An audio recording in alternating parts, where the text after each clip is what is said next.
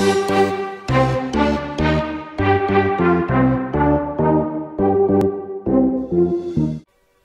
everybody, it's this is Lillian and I will be talking you through a very large blue Dutch pour that I did the other day.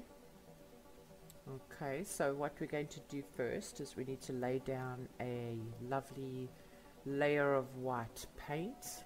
Okay, my all, all my paints are mixed one part paint with five parts Floetrol and about one to one to two parts water.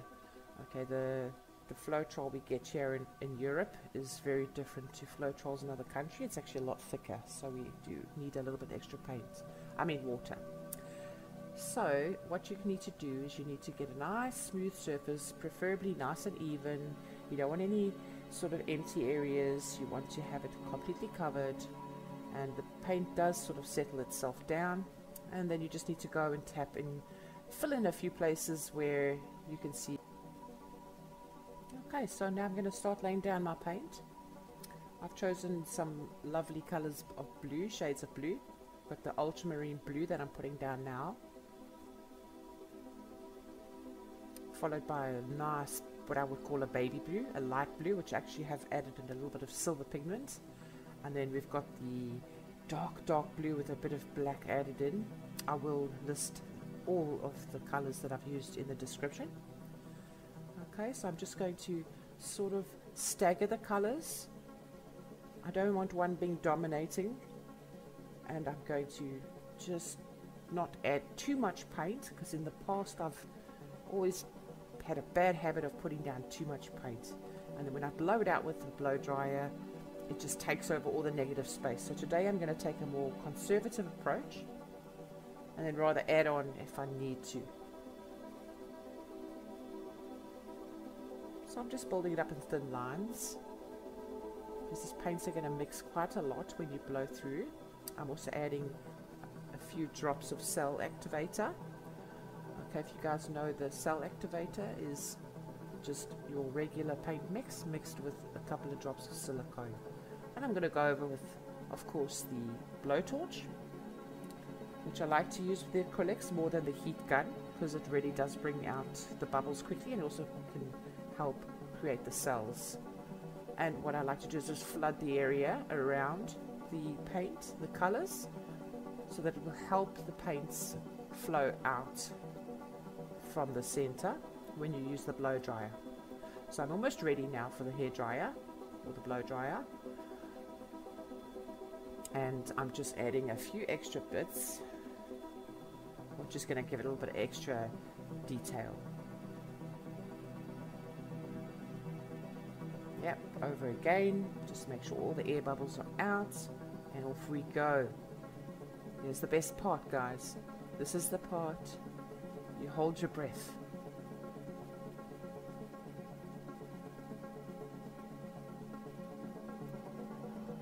Just picking up any little spillage drops there.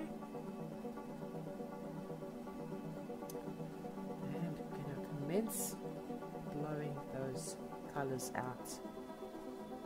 Took a very bad angle with the camera today so I'm going to cut it short a little bit here and there because I don't want to have my big head or my long arm in the way but that's fine. I'm sure it won't interfere too much. There there we go guys. I'm liking it. It's looking really really stunning. Just go and go over it getting the air bubbles out and to bring out a few cells okay so I want the bottom to end on the canvas at the end like it does on the other opposite side. So I'm adding more paint and I'm going to do another blowout.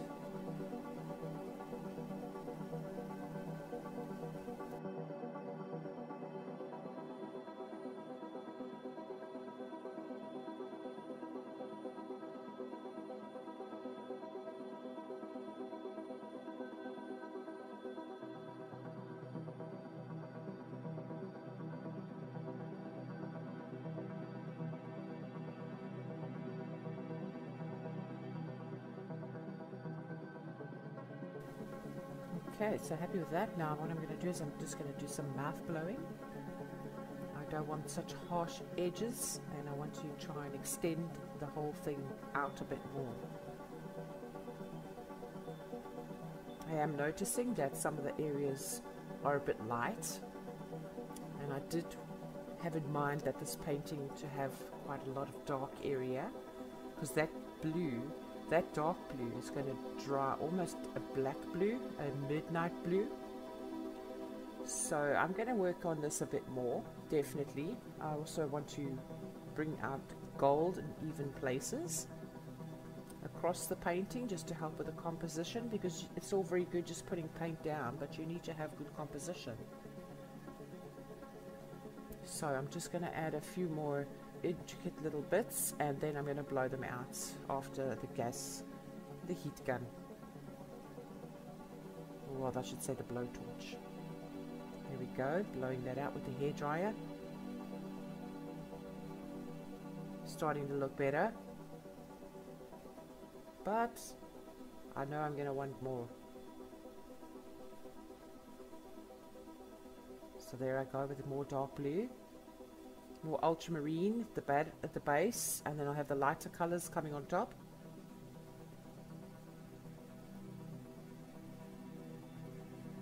And a bit of more of the dark blue. And blow that out.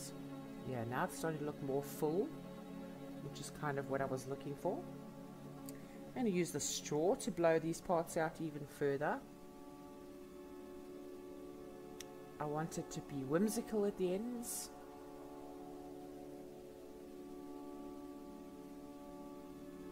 And I carry on at the bottom and through the middle as well.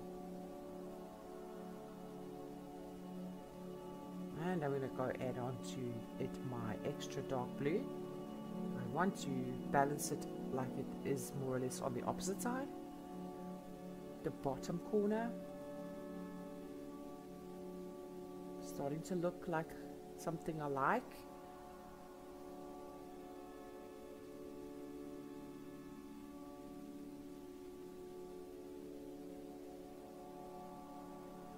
And keep building it up.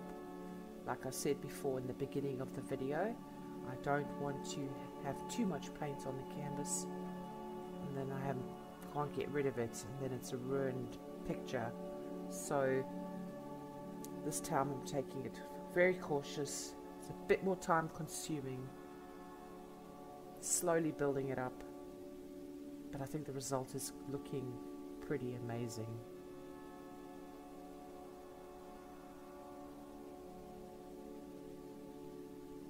Getting into some final details now. Always go with a blowtorch guys. Put the paint down before you do anything with it give it a go with a blowtorch get the air bubbles out so you don't spread those bubbles and you end up with too many holes in the artwork. I don't mind a little circular hole here and there but I don't like my painting to be covered in them. Okay we got the old paper straw. Trying to blow it around see what it's gonna do.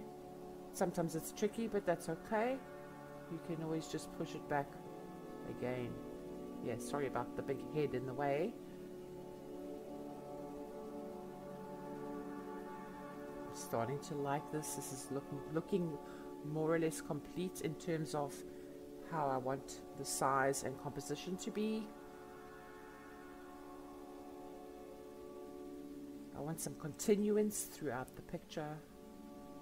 I want it to look like one being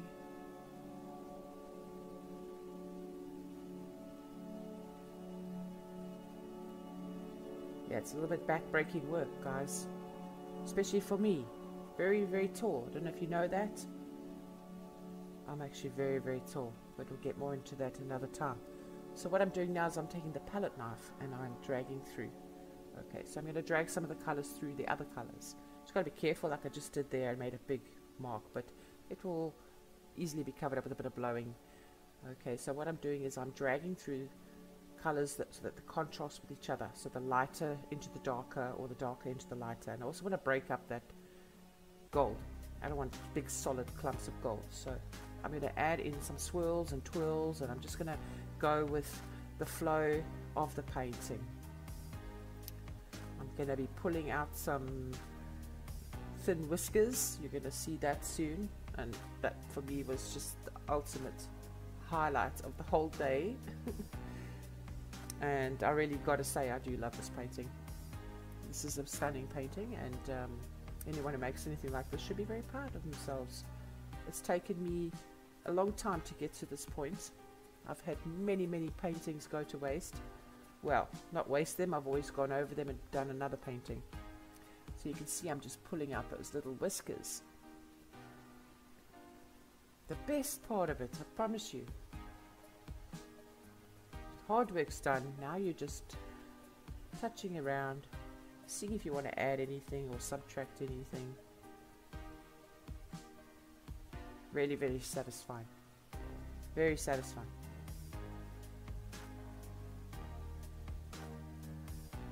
Yep.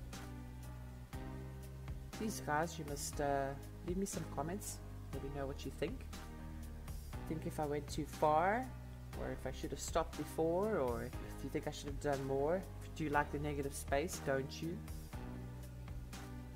I'd love to know what you think.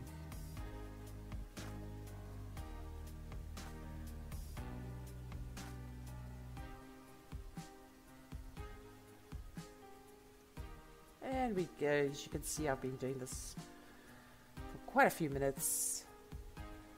It's almost time to say okay enough. And there you go. Let's take a close-up look at this detail guys. Oh my gosh. And there oh do you see the hidden eye? I always seem to have a hidden eye. There it is again. Show up in my artwork many times. And there's those awesome whiskers. And you can see now the real detail. Thank you so much for watching. And please do subscribe if you enjoyed this video. Thank you. Tail. Look at that gold, the swirls.